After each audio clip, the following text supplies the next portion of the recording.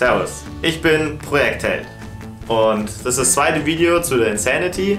Die schraube ich gerade auseinander, weil der Rahmen in zwei Tagen zu pulvern geht und deswegen muss ich mich jetzt ein bisschen ranhalten. Die Farbvorschläge aus dem letzten Video haben mich alle gut inspiriert und ich habe jetzt auch schon entschieden, welche Farbe es wird, aber das verrate ich noch nicht. Das sieht nämlich dann erst im nächsten Video, wenn die ganzen Teile dann wieder zurückgekommen sind. Los geht's mit dem Zerlegen.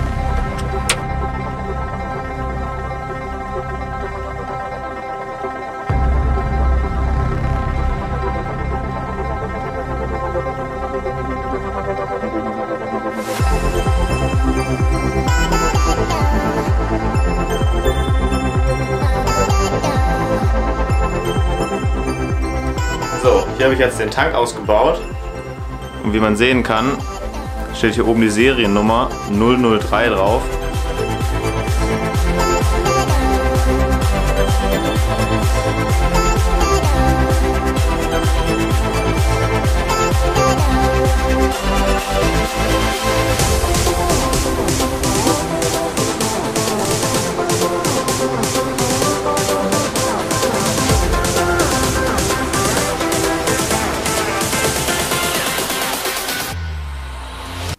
Ja, jetzt bin ich an dem Punkt angekommen, wo ich vorher schon das Intro gedreht habe.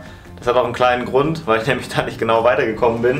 Äh, der Kabelsalat hier hat mir leider gezeigt, dass hier jemand schon mal dran rumgefuscht hat. Das erkennt man meistens immer ziemlich gut daran, wenn man hier so ein grün, grün-gelbes Kabel findet. Das sind nämlich die Erdungskabel, die man eigentlich im Haus verwendet. Also normalerweise gibt es eigentlich keine grün-gelben Kabel im Moped, habe ich zumindest noch nie original drin gesehen. Und hier vorne sieht man auch, dass hier jemand ziemlich viel rumgefuscht hat. Ähm, ich muss das Ganze erstmal gut beschriften und eventuell beseitige ich das Ganze auch gleich. Dafür muss ich aber noch neue Stecker kaufen und das Ganze dann wieder wirklich ordentlich zusammenbauen. Das nächste Problem ist, dass hier vorne so kleine Löcher durch den Rahmen gebohrt sind, wo die Kabel durchgeführt sind. Und auf der einen Seite hängt zum Beispiel der Tacho oder der Gasgriff mit dem Starterknopf und auf der anderen Seite hängt dann so ein Stecker und die Stecker passen nicht durchs Loch durch. Das bedeutet, entweder muss ich die abschneiden und wieder ranlöten oder ich muss versuchen, die Stecker zu zerlegen. Und das ist leider eine ziemlich nervige Aufgabe, weil hier doch ziemlich viele Kabel nach vorne führen und alle durch diese kleinen Löcher durchgehen.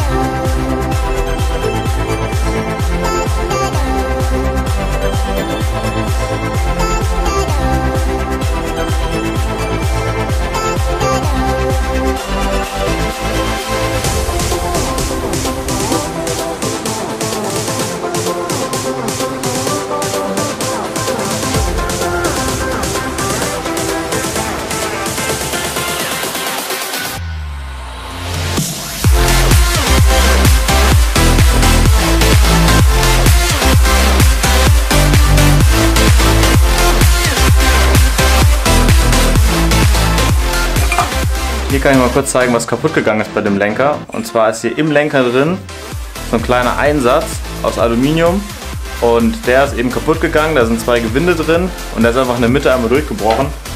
Und deswegen habe ich mir hier 3D gedruckt, quasi genau so ein Teil und habe da einfach ein paar Muttern reingemacht. Das hat jetzt super gehalten, aber auf Dauer möchte ich damit auch nicht rumfahren. Deswegen kommt das ganze Zeug weg. Ich hebe es trotzdem noch auf, falls für den anderen Lenker auch noch mal Probleme entsteht. Dann habe ich das hier immer noch als Backup, aber eigentlich möchte ich lieber den neuen Lenker verwenden.